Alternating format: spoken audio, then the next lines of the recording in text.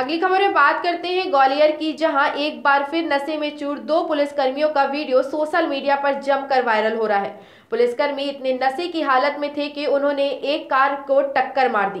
Car चालक ने जब विरोध किया तो नशे में चूर पुलिसकर्मी कार चालक से अभद्र भाषा का प्रयोग कर अपनी वर्दी का रौब छाड़ने लगे। दोनों पुलिसकर्मी इतनी शराब पिए थे कि वह अपनी मोटरसाइकिल भी स्टार्ट नहीं कर पा रहे थे। शराब के नशे में हंगामा कर रहे पुलिस वालों का वीडियो पास में खड़े एक राहगीर ने मोबाइल में बनाकर सोशल मीडिया पर वायरल कर दिया। वायरल वीडियो जैसे ही पुलिस अधिकारी के संज्ञान में आया, अधिकारियों का कहना है कि वीडियो की जाँच करा रहे, जो भी तथ्य सामने आएँगे, उसके आधार पर दोषी पुलिसकर्मियों के खिलाफ कार्रवाई की जाएगी। बता दें कि शराब में धुत दोनों यातायात पुलिस कर्मियों का यह वायरल वीडियो ग्वालियर के कोतवाली थाना क्षेत्र के महाराज बाड़े का शुक्रवार रात 9 से 10 बजे के करीब का बताया जा रहा है। पता चला है कि गाड़ी क्रमांक एम पी ज़ीरो छः एम पी पैंसठ बहत्तर पर दारू के नशे में सवार होकर सराफा बाज़ार से रॉन्ग साइड जा रहे थे।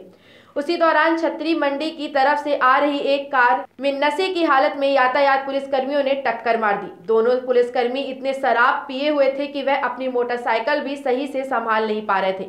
वहीं जब कार चालक ने इन पुलिसकर्मियों से इसका विरोध किया तो पुलिसकर्मी इस पर इतने नाराज़ हो गए कि उन्होंने अपनी वर्दी का रौब दिखाते हुए कार चालक के साथ अभद्र भाषा का प्रयोग करते हुए विवाद करने लगे।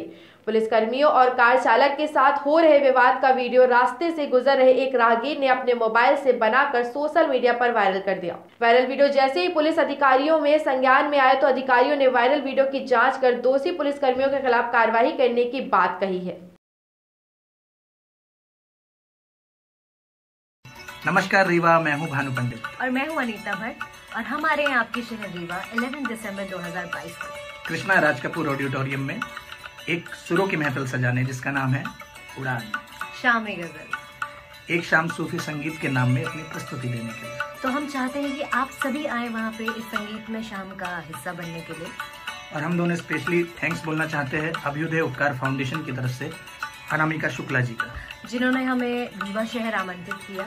So see you all there.